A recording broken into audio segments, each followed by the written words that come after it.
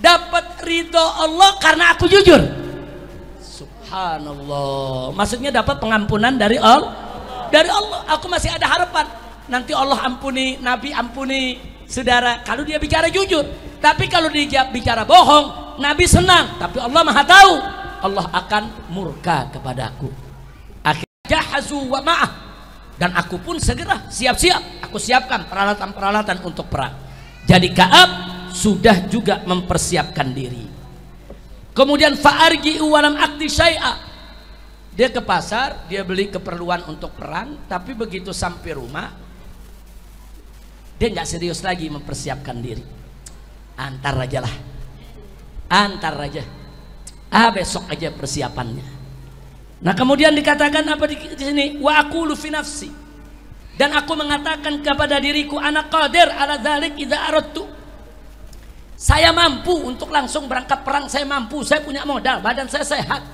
Perlengkapan ada. Kemudian falam yazal dzalika yatamada bi hatta nasil jid tapi saya sering mengakhirkan yatamada nunda-nunda. Antar aja. Antar besok aja. Sementara orang lain wow udah persiapkan persiapkan kudanya ontaknya perbekalannya pedangnya tombaknya panahnya semua udah udah mempersiapkan. Baju perangnya. Saya mempersiapkan diri nunda-nunda. Ah besok aja. Ah entar aja. Ah besok aja. Ah entar aja. Nah ini yang dia cerita. Padahal dia udah siap. Dia juga mau ikut perang. Saudara. Nah akhirnya apa yang terjadi? Fa Rasulullah sallallahu alaihi wasallam ghadiyan wal muslimuna ma'ah.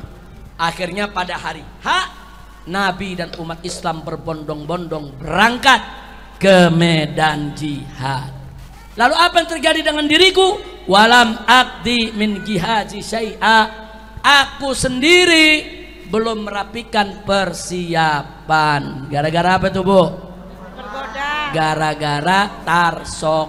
Nah, itu namanya manajemen tarsok. Ntar besok tarsok, tarsok, tarsok. Akhirnya di hari H orang udah siap, udah berangkat bersama Nabi, dia belum siap juga. Padahal dia udah beli, dia udah beli tuh segala keperluan. Nah, cuman dia nggak rapihin. Akhirnya dia belum berangkat. Cuma apa? Cuma qadawtu farajatu. Begitu aku lihat Nabi dengan para sahabat umat Islam jalan, aku tergerak. Aku mesti ikut. Aku mesti pulang lagi. Mesti buru-buru rapihin. Aku harus ikut, jangan ketinggalan. Nah, kemudian apa dia katakan di sini? Cuma qadawtu farajatu. Dia pulang ke rumah. Tapi sampai di rumah lagi-lagi walam akdi syai'a. Sampai di rumah males lagi ya. Ntar dulu deh. Bu. Bu. Manajemen apa namanya? Tarsok orang zaman sekarang yang begini banyak gak? Banyak gak? Ibu-ibu ada yang begitu? Tarsok mau nyuci piring? Tarsok mau nyuci baju? Tarsok dari mulai baju ada lima lembar sampai nggak punya baju tuh di lemari sampai itu cucian ada lima ember betul bu? Ayo ngaku ada gak ada gak nah, jadi jangan pakai manajemen tarsok kita lanjutkan cerita. Falam yasa dzalika yartamada bi hatta asra'u wa tafaratul nah karena aku terus mengulur-ngulur waktu akhirnya Nabi terus berangkat meninggalkan kota Madi Madinah. Nah begitu Nabi udah keluar dari Madinah, apa beliau bilang? Fahamam tu an artakila faudrikahum. Saya punya niat, wah saya mau kejar. Mau pulang lagi ke rumah, rapihin, saya masih bisa kejar. Ini dengan kuda. Saya pulang lagi, sampai di rumah, males lagi. Dia cerita, akhirnya apa? Sampai di rumah, saudara dia katakan, Fayalaitani fa'atu ya Allah betapa indahnya kalau waktu itu aku kejar, aku ikut Kenapa aku nggak lakukan? Sumalam yuqaddar dari kali, tapi akhirnya aku nggak mampu juga buat berangkat. Kemudian fatafiktu idza kharajtu fin nasi ba'da khuruji Rasulillah. Nah, di sini dia cerita. Begitu Nabi sudah jauh, dia udah nggak bisa nguber lagi. Saudara, dia keluar dari rumah. Begitu dilihat di Madinah isinya apa? Isinya perempuan, anak-anak, orang tua, orang sakit, dan munafik nggak ada yang lain di situ dia bilang nyesel sedih dia Karena dilihat kanan kirinya ya perempuan nggak wajib perang, anak-anak nggak wajib perang, orang tua sakit nggak wajib perang, munafik ini kan sifat jahat. Jadi dilihat apa aku ini munafik? Kok aku bersama mereka di Madinah? Sedih, dia nyesel. Tapi udah udah terlanjur. Nabi udah udah berangkat. Perang Badar, Saudara. Ini yang beliau ceritakan. Makanya di sini kharajtu fin nasi ba'da khuruji Rasulillah. Aku keluar dari rumah di tengah-tengah masyarakat setelah Nabi keluar berperang. Apa dia katakan? Yahzununi, aku sedih. Kenapa sedih? Anila ara. Aku tidak melihat di kota Madinah itu li uswah ada satu orang yang menjadi contoh, satu orang baik, satu orang teladan. Maksudnya orang yang nggak lari dari kewajiban. Enggak, aku nggak lihat di Madinah. Yang aku lihat itu tadi illa rojulan makmuson alihi fin nifaq. Yang aku lihat yaitu satu imma orang-orang yang munafik au rojulan mimman adarallahu taala minat tu'afa atau orang-orang memang yang punya uzur. Orang-orang yang lemah yang sakit yang memang tidak ada kewajiban jihad. Kira-kira jelas bu? Penyesalan itu memang datang belakang belakangan. Lanjut masih ada waktu? Nah, lanjut dikit bu ya. Bu. Nah, dikit lagi zuhur nih bu ya. Baik kita lanjutkan.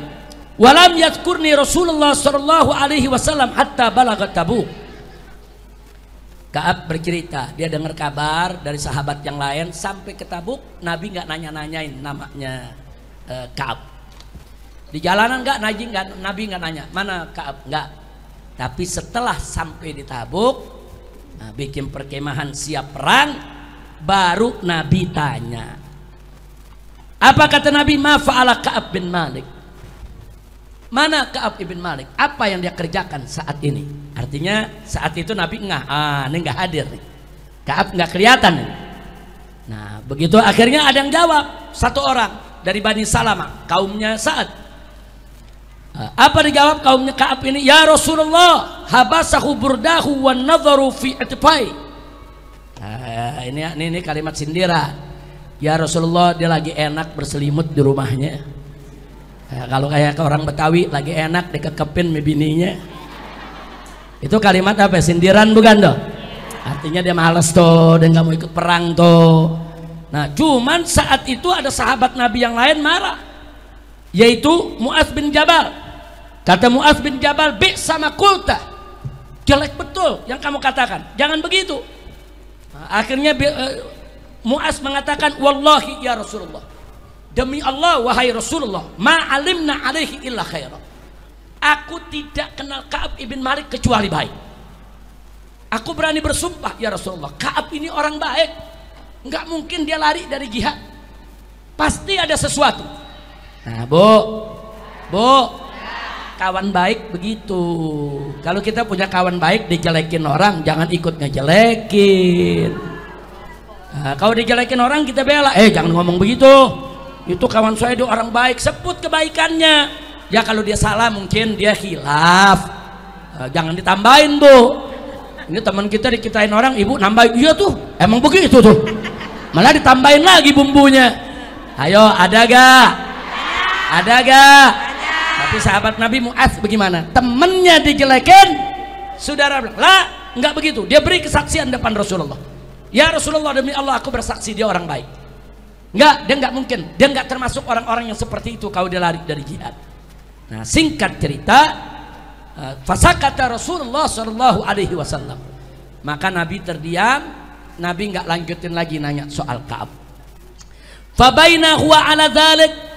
Nah, pada saat itu Nabi alihkan uh, pembicaraan kepada tentang orang lain. Ro'a rojulan mubayyidon. Nabi lihat ada satu orang pakai pakaian serba putih, yazulu bihis sarab begitu gagah di tengah-tengah jadi memang berjuangnya luar biasa. Nabi puji apa kata Nabi? Kun Aba Khaisama. Mudah-mudahan ini orang sahabat kita yang bernama Aba Khaisama. Ternyata betul orang tersebut adalah Aba Khaisama. Jadi memang salah satu sahabat Nabi Muhammad Shallallahu Alaihi Wasallam yang pernah diolok-olok oleh orang-orang munafik nah baik selanjutnya Falamma balagani anna Rasulullah sallallahu alaihi wasallam qad tawajjaha ghafilan min Tabuk. Boleh. Sallu ala nabi. Ya, boleh. Umi masuk dulu. Karena ada obat yang mesti diminum. Doain Bu ya biar sehat. Wal afiat. Amin ya rabbal alamin. Lanjut Bu. Apa bulan depan lagi? Lanjut. Dikit lagi dikit ya. Jangan banyak-banyak sampai jam 12 tepat Bu ya. 5 menit lagi. Bu. Baik. Nah selanjutnya apa? Falamma balagani anna Rasulullah sallallahu alaihi wasallam qad tawajjaha ghafilan min Tabuk hadarani bathi. Singkat cerita perang selesai. Nah, waktu perang selesai kata Kaab aku dengar kabar di Madinah. Nabi dengan para sahabat dalam perjalanan pulang.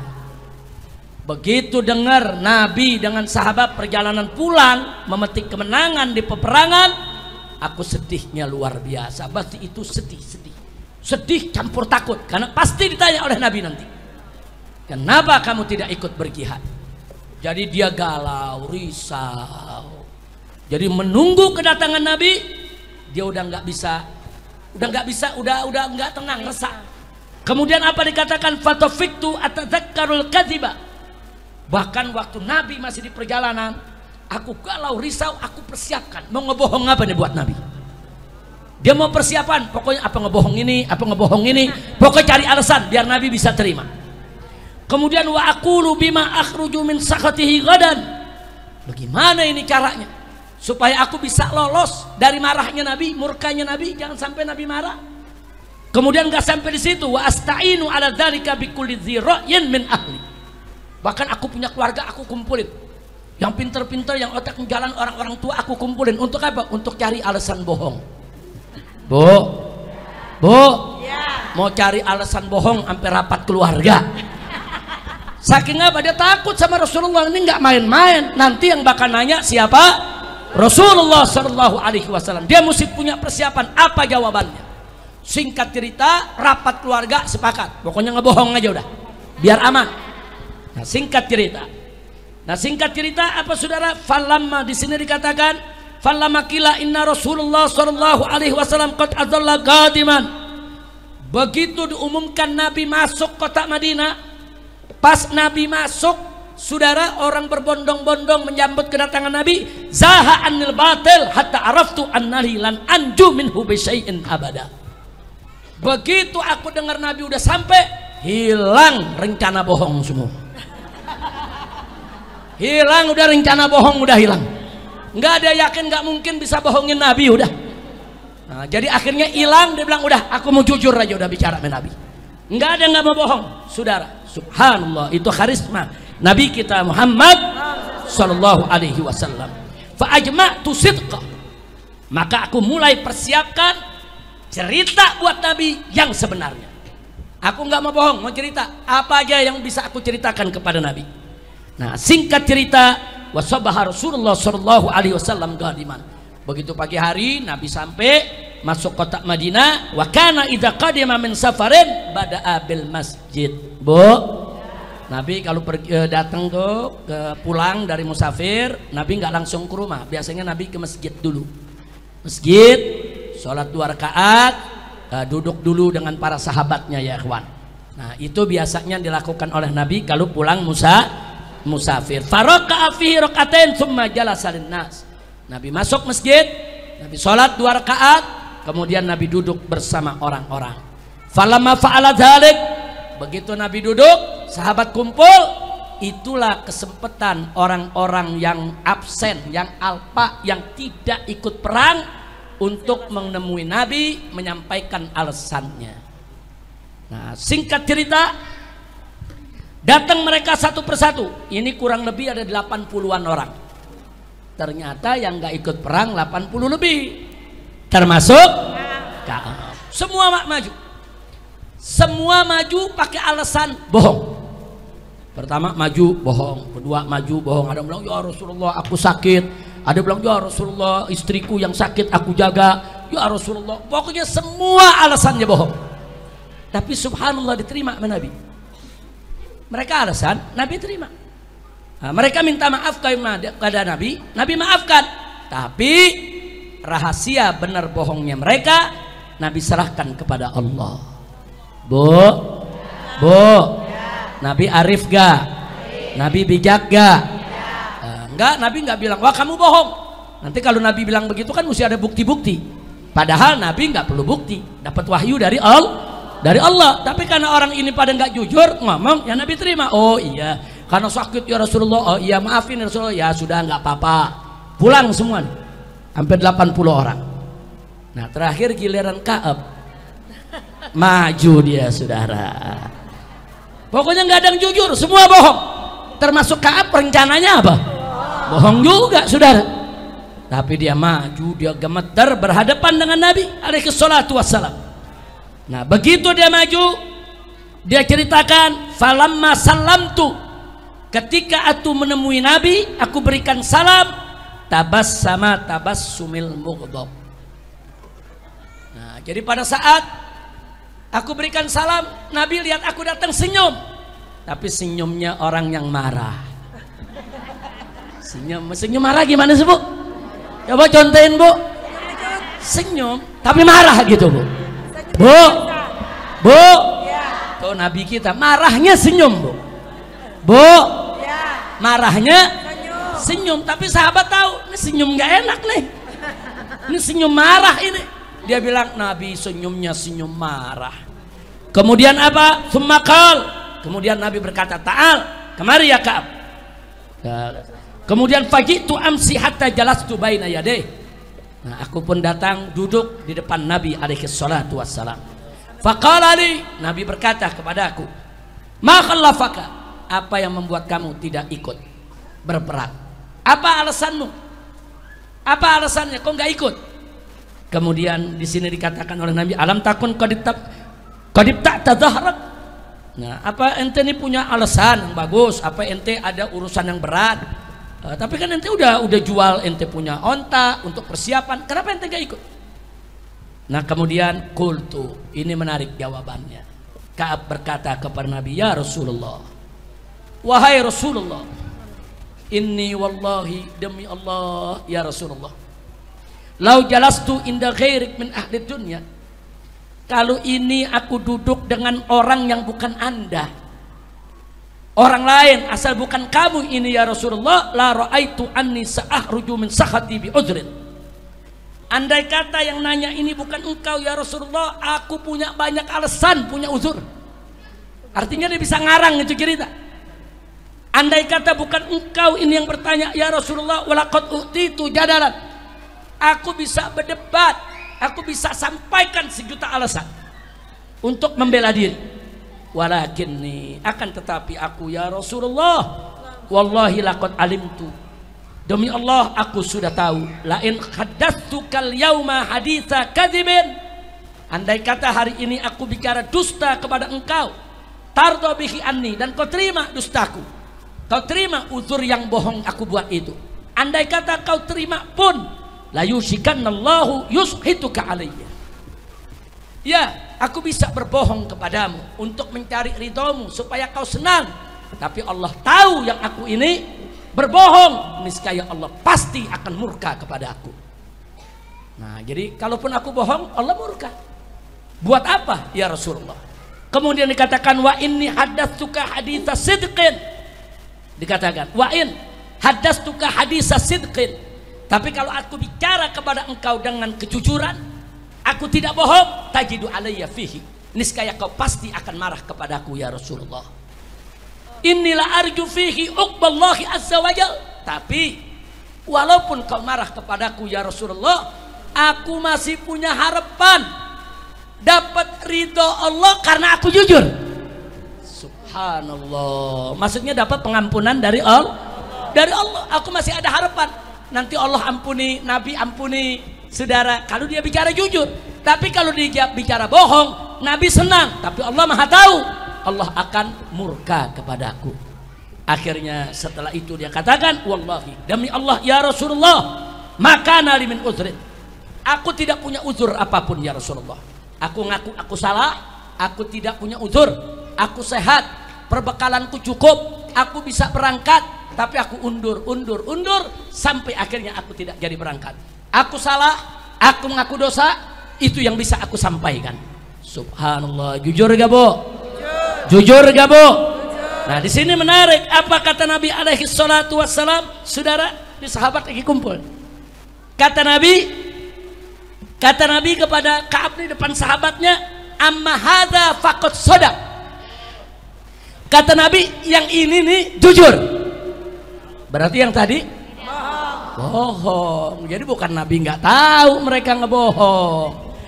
Jadi Nabi dengerin dari tadi, ya nggak apa-apa, ya nggak apa-apa, pada pulang, ya nggak apa-apa, begitu. Begitu yang ini ngomong jujur, apa kata Nabi? Ini baru jujur. Ini baru jujur. Nah, begitu dikatakan oleh Nabi jujur, fakum bangun hai Ka'ab hatta yaqdiyallahu fika. Kita tunggu putusan Allah. Masya Allah, Bu. Bu. Artinya lari dari perang, bolos tanpa uzur itu dosa besar. Itu dosa berat. Sampai-sampai Nabi nggak langsung maafin. Kata Nabi kita tunggu ya putusan Allah. Masya Allah. Nah akhirnya apa? Akhirnya Kaab berjalan. Di sini wataro rijalun min bani salamah fattabi'uni. Begitu aku diri aku keluar dari Nabi kaumku ngikuti aku. Semua mencerca aku. Kenapa kau jujur kenapa jujur? Yang lain gak ada yang jujur. Yang lain bohong semua. Kenapa ente nggak bohong? Kan udah sepakat ente bohong. Subhanallah, dia diomel-omelin sama keluarganya, sama keluarganya, sama temennya, sama kaumnya, diomel-omelin saudara sepanjang jalan. Akhirnya apa? Dia kata di sini? Faqaluli wallahi. Demi Allah, ma'alimnaka adnabta dzamban qabla hadza. Dikatakan ya Ka'ab, kita kenal ente, ente ini nggak pernah bikin dosa, ente orang baik, nggak ninggalin sholat, nggak bikin maksiat. Baru satu ini kesalahan kenapa sih nggak bohong aja? Baru satu bikin salah bohong kenapa sih? tetap enggak dan enggak mau. No, tapi tapi Kaab cerita apa di sini dikatakan? Di sini dikatakan oleh oleh Kaab oleh Kaab di sini katakan wallahi ma zalu yu'annibunani hatta aratu an arji'a ila Rasulillah. Jadi karena aku diserang terus ini sama kaumku sampai-sampai aku akhirnya keder juga. Ya udah balik aja lah Nabi lah. Balik aja dah kita ngebohong aja lah. Kita tarik aja tuh pernyataan tadi. Sampai terpengaruh seperti itu. Karena nih yang ngapun hati-hati ntar kalau Allah putusannya nggak terima bagaimana?